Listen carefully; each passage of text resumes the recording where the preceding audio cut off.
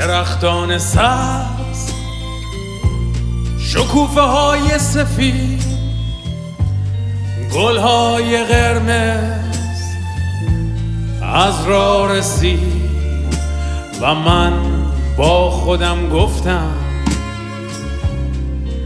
چه دنیای قشنگی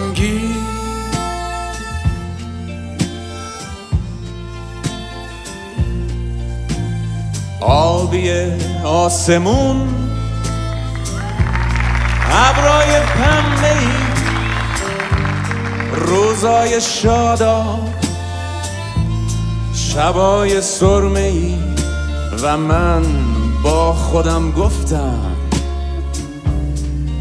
چه دنیای قشنگی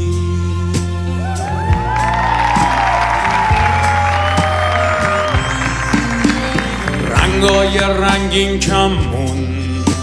چه مرکز تو آسمون و باستاب قشنگش رو آدم و صورتاشون دوستان با هم دست میدن.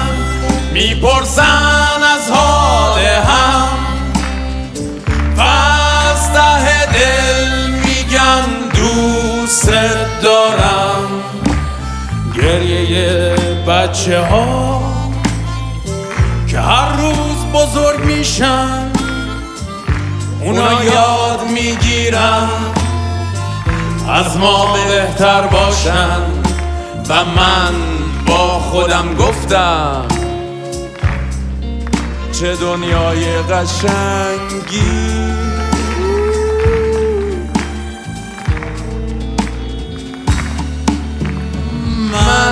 با خودم گفتم